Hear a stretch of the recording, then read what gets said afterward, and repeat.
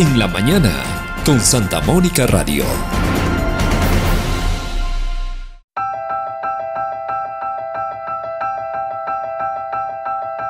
Eh, Santa Mónica Radio está muy implicada en la historia de Chota. Chota es Santa Mónica Radio y Santa Mónica Radio es Chota, no solo por la historia, sino por lo que se ha ido construyendo en, en el corazón de la gente. La gente ama Santa Mónica, disfruta de Santa Mónica Radio y muchos oyentes nos dicen y nos repiten cada año en el aniversario, que es el 1 de junio, suelen decir, no imaginamos nuestra vida sin Santa Mónica Radio. Yo creo que Chota está muy agradecida de Santa Mónica Radio y nosotros estamos felices no solo de enfocarnos en Chota, sino que vamos abriendo el horizonte a Bambamarca, a Santa Cruz, a San Miguel, a Cutervo y también hasta Amazonas. Las ondas de la radio traspasan las fronteras y nosotros llevando ese evangelio fiel a la visión.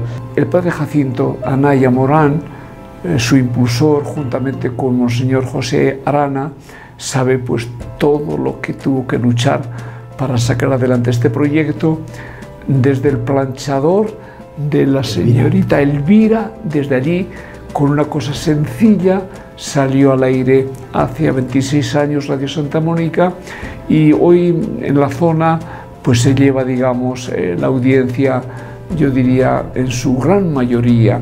Es decir, hemos concebido la radio como un servicio, no la radio como un producto comercial. Y a través de esa programación generalista salpicamos todos los programas de la radio de valores evangélicos. Estamos convencidos que la evangelización tiene que partir con la cultura. Si no nos metemos en la cultura, si no nos insertamos dentro de ella y la cambiamos y la modificamos y les damos nuevos contenidos, nuevos puntos de vista, nuevos estilos para que vean la vida de una forma distinta, diferente, empapado, claro que sí, de los valores evangélicos y agustinianos.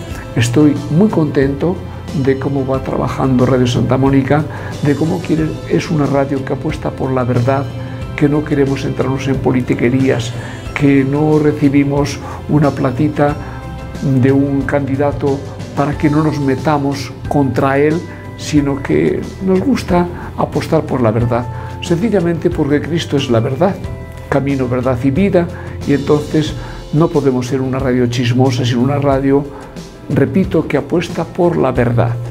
Santa, Mónica Radio, acompañamos tu vida.